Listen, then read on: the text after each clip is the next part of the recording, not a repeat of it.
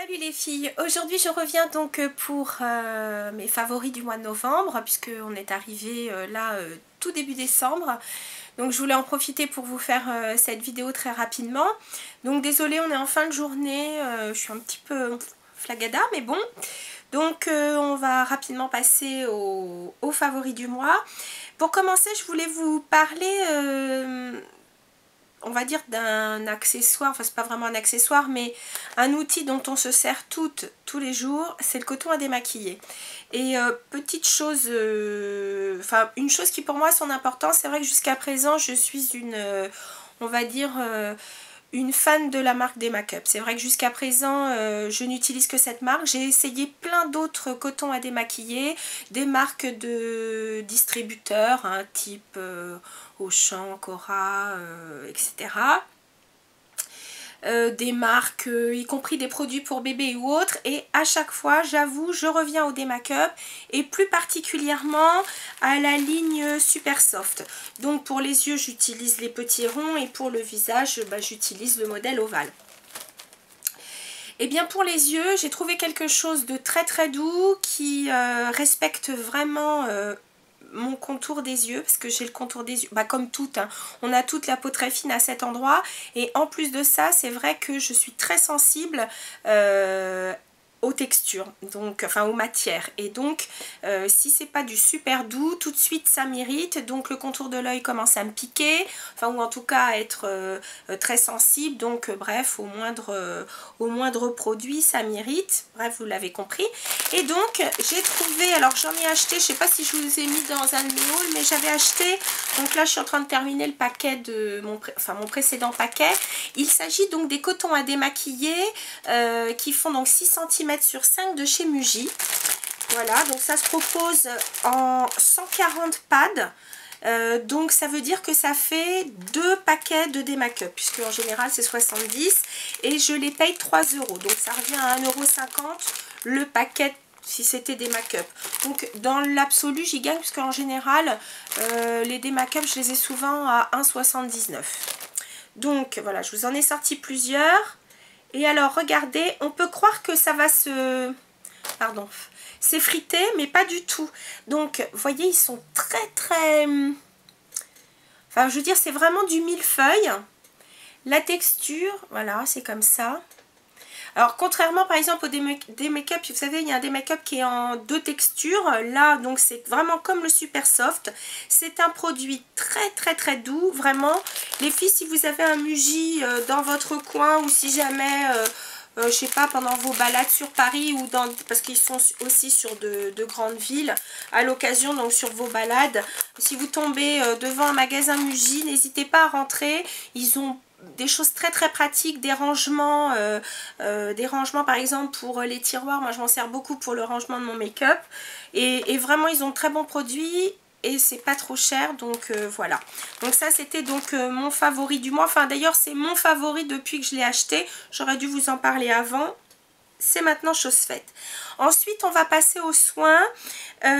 Tout d'abord euh, ceci, donc je l'utilise maintenant euh, depuis euh, plusieurs semaines et je le trouve vraiment très très bien. Il s'agit donc du vitamine pardon, C microdermabrasion. Il s'agit donc d'un gommage de chez The Body Shop et donc il est, comme vous l'avez compris, à la vitamine C. Dedans vous avez aussi, alors je ne sais pas ce que c'est, hein, je vous dis franchement je ne sais pas ce que c'est, du Camus Camus d'Amazonie donc qui est riche en vitamine C. Il y a du beurre de karité et donc il est plus, euh, il est particulièrement destiné aux peaux ternes.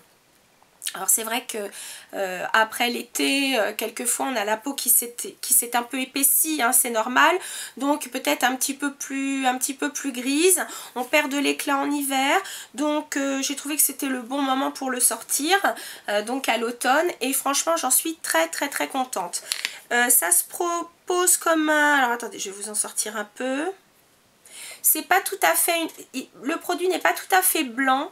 Il a, euh, je trouve qu'il a une petite teinte un peu grège. Les grains sont extrêmement fins. Donc même pour les peaux sensibles, voyez, même pour les peaux sensibles, il n'y a aucun souci de, euh, pour l'exfoliation. Parce que franchement, ça, il n'agresse pas du tout la peau.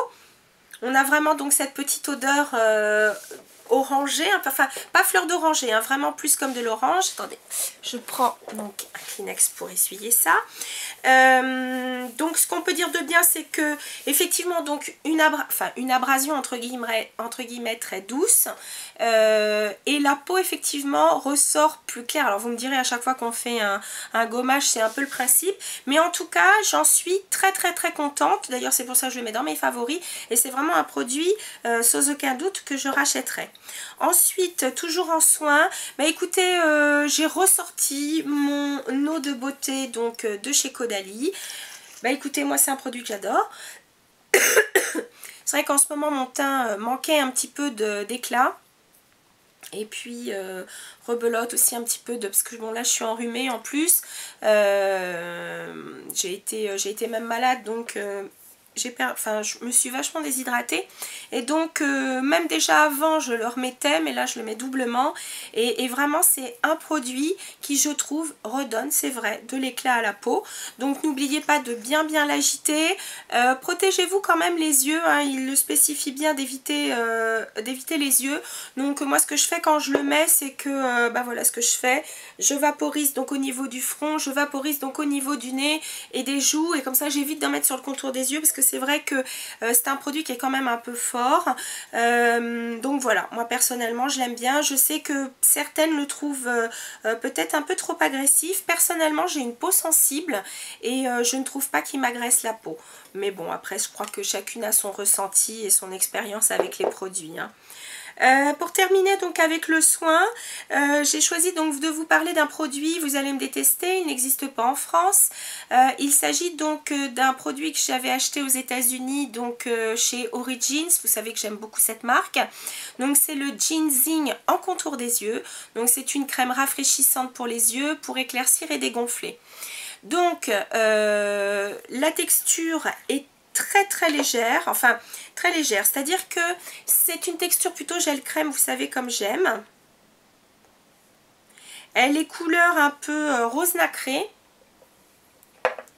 Quand on le met sur la peau, voyez, il va déposer des petites particules de nacre.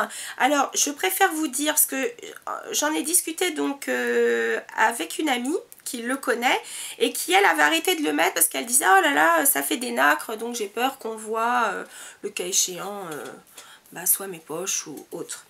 Bah écoutez très sincèrement les nacres elles restent assez peu de temps donc ce qui fait que le temps que vous fassiez votre routine soin, le temps que vous vous maquillez, c'est fini, les nacres on les voit plus. Euh, ce que j'apprécie tout particulièrement, c'est que euh, c'est une texture donc très agréable à mettre, euh, le matin plus particulièrement. donc vous la tapotez bien, vous lissez ensuite. je trouve donc effectivement donc elle pénètre bien. C'est vrai que lorsqu'on a les yeux un petit peu gonflés le matin, euh, je trouve que ça rafraîchit bien. C'est pas que c'est tenseur, hein, mais euh, je trouve que vraiment donc ça apporte un côté rafraîchissant qui fait dégonfler le, contour de l'œil. Et puis donc moi qui ai plutôt la peau déshydratée, donc euh, vraiment bah, partout, mais j'ai vraiment le contour des yeux sensible. Écoutez, franchement, je trouve qu'elle fait bien son office. La nuit, c'est vrai que je mets autre chose. Vous savez que je mets le, le Midnight Recovery Eyes de chez de chez. Mais ça pour le jour, je, je la trouve vraiment très très bien. Et pareil, euh, dedans vous avez vraiment une odeur un petit peu... Euh, enfin, moins que la crème. Mais euh, ouais, parce que du coup, non c'est la crème qui sent plus un peu l'orange. Mais là vraiment, voilà, un très bon produit. Personnellement, c'est vraiment mon favori. J'en suis très très contente. On va passer donc au maquillage. Alors transition maquillage soin on va dire. Euh, j'ai beaucoup utilisé ces derniers temps la crème teintée oil free de chez Bobbi Brown qui a un SPF 15 euh, bah écoutez moi je l'aime beaucoup. Ce qui explique que c'est dans mon favori du mois. On, là, on arrive quand même à des températures plus... Enfin, c'est vrai que euh, ce produit, je ne le mets pas par exemple pour une journée de boulot, euh, je trouve que ça sera trop léger ou alors il faut vraiment des retouches dans la journée. Mais sinon si c'est euh, le week-end ou euh, un jour où c'est light, moi vraiment ça a été ma chouchoute. Et ouais vraiment très très très bien. Alors c'est vrai qu'en dessous je mets un produit qui hélas n'existe plus de chez Smashbox, je crois, ouais, qui était euh, donc une crème teintée qui s'appelait Luminous, euh, si vous voulez, qui n'a pas vraiment de couleur, mais qui apporte beaucoup de lumière. Euh, vraiment, je regrette que Smashbox ait arrêté ce produit. Donc c'est vrai que je m'en sers comme primer et après je mets ça.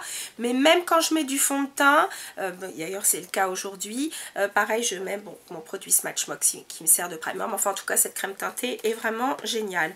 Ensuite, en produit teint, eh bien, j'aime toujours autant donc euh, le secret de camouflage de Laura Mercier. Ce produit est inépuisable, je le mets à chaque fois que j'ai des petites rougeurs, donc c'est quand même assez souvent. Enfin, moi mes rougeurs, comme beaucoup, elles se situent donc euh, au niveau des ailes du nez. Et puis il peut m'arriver d'avoir euh, bon, une petite rougeur sur le visage ou autre. Mais ce produit est inépuisable, regardez, c'est le genre de truc, donc on mélange les deux, on mélange les deux couleurs. Il y en a une qui a une texture qui est un peu plus sèche pour l'un. D'ailleurs, c'est euh, celui-ci. Euh, donc ce qui est bien, c'est que vous trouvez vraiment euh, pile poil la couleur qui, correspond à votre carnation. Ce produit est inépuisable. Donc c'est vrai que les produits Laura Mercier ne sont pas réputés pour être les moins chers. Mais sincèrement, ce genre de produit, vous gardez ça des lustres. Vraiment, il est extra.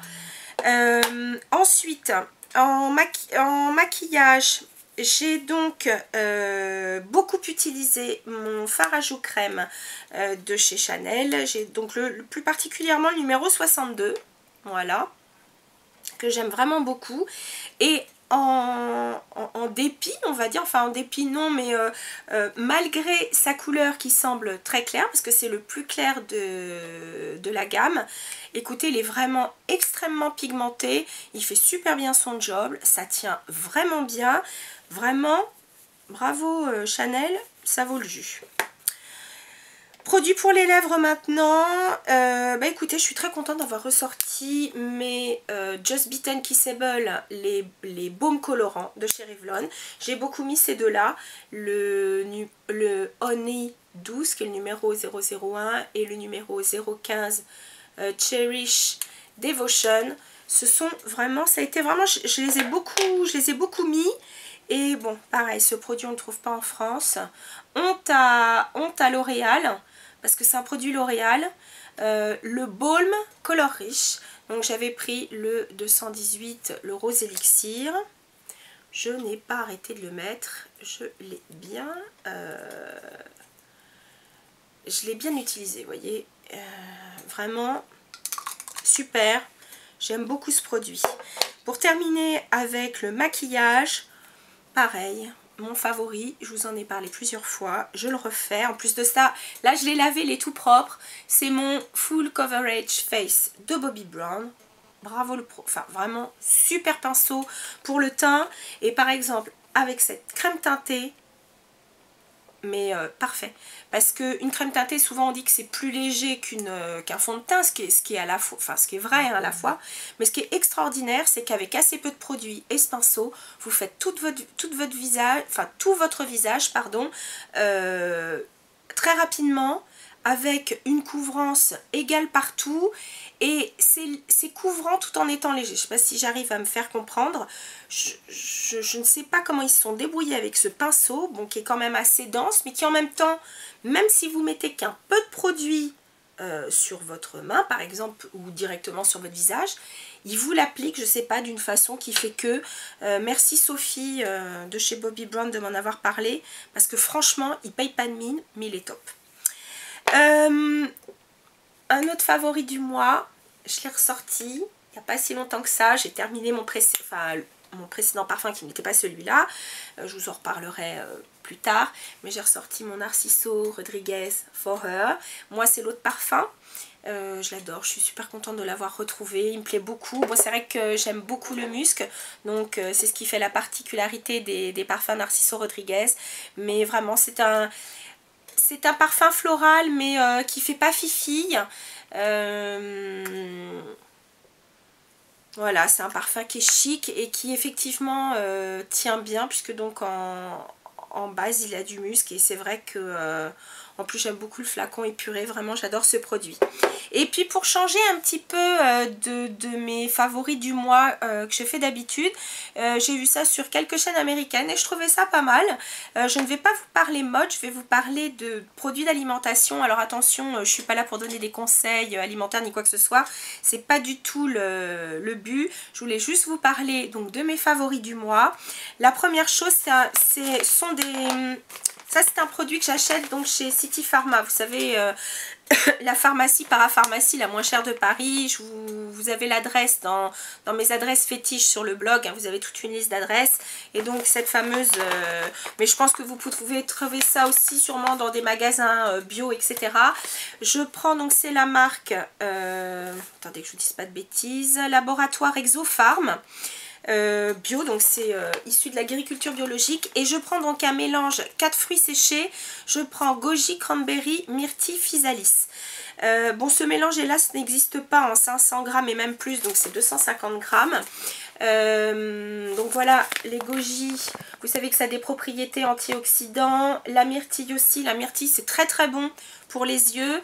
Euh, les cranberries, vous connaissez ces propriétés euh, euh, qui peuvent aider d'ailleurs à, protéger de, certaines cystites. Et puis donc les physalis, ce sont, vous savez, ces, ces petites boules jaune orangées avec ces espèces de feuilles. J'adore leur goût, c'est acidulé, c'est délicieux. Et bref, ce mélange, bon, soit vous le prenez comme ça au moment d'une pause, pourquoi pas à 11h ou à 4h. Moi, ce que j'aime, c'est, je ne sucre pas mes yaourts en général, enfin les yaourts nature, je les sucre pas. Bah, je les mets dans mes yaourts nature. Et franchement, c'est délicieux. Donc euh, je vous le conseille. En plus, donc euh, ça de... Hum, comment on appelle ça? Ce sont... Euh, enfin bon, ces, ces, fruits ont vraiment des propriétés bonnes pour la santé. Donc c'est un petit plus. Euh, je suis une personne qui aime énormément le miel, donc ça tombe bien parce qu'avec cette période de l'année, j'en consomme encore plus. Euh, je voulais donc vous parler euh, de deux... Enfin, le premier, bah écoutez, c'est du miel de citronnier. Alors celui-là, je l'ai trouvé chez la famille Marie. Elles ont plusieurs adresses sur Paris et je crois, je dis bien je crois, je sais qu'ils ont un site internet et je crois qu'ils livrent ailleurs que sur Paris. Donc je vous mettrai les adresses euh, soit en barre d'infos, soit sur le blog euh, avec l'article qui ira avec cette vidéo. Et puis euh, je voulais vraiment vous parler, alors vous voyez ça a été vraiment mon favori du mois parce qu'il n'y en a plus. je suis pas une super grande fan de, confiture. J'en mange un petit peu, j'adore la confiture de myrtille ou, de, de Reine Claude, mais la myrtille particulièrement. Mais c'est vrai que j'adore le citron.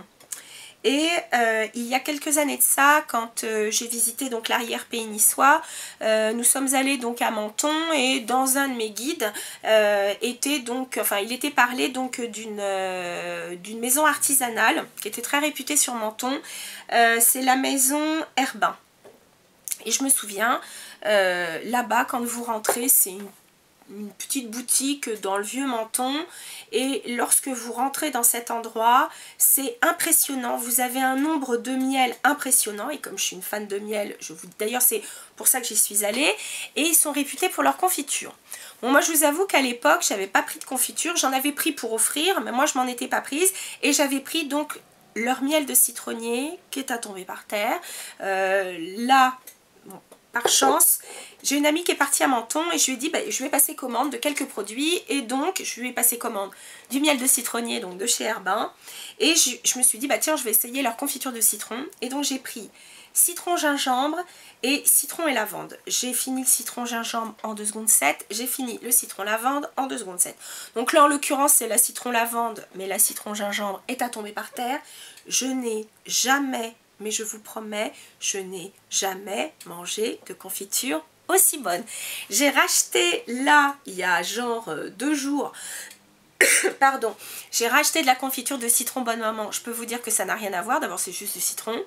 Euh, mais là, mais quelle finesse Rien à voir avec la marmelade euh, anglaise, mais un, un goût à tomber par terre, que ce soit donc citron gingembre, citron lavande, formidable.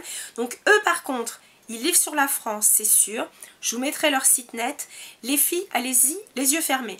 Moi, j'avais offert, euh, entre autres, euh, de la confiture bah, de myrtille, euh, qui était donc, enfin, la personne à qui on l'a offert l'a trouvée vraiment délicieuse. On avait pris, je me demande s'il n'y avait pas eu de la cerise, un, un mélange abricot, quelque chose. Enfin, bon, bref, écoutez, ceux à qui on a offert les confitures étaient pareil tombés en pamoison. Donc je pense que le comment dire la, réputation de cette maison n'est pas usurpée. Là donc la maison Herbin ils sont deux rues du vieux collège à Menton et je vous mettrai le site internet parce que vraiment bon ça me fait plaisir de, parler d'artisans euh, et puis c'est vraiment pas du placement publicitaire parce que vraiment, euh, je ils ne connaissent pas. J'y suis allée une fois, euh, euh, des amis, donc ils sont allés, ils ont adoré aussi, bref. Mais voilà, je, vous la recommande, puis ça fait plaisir de faire travailler des gens. c'est comme cette famille Marie, c'est une histoire de famille. Moi, je trouve ça bien de faire travailler des gens comme ça. Voilà, bah écoutez les filles, c'était mes favoris donc du mois de, mois de novembre, pardon. Euh, bah écoutez, je vous dis en tout cas à très bientôt. Salut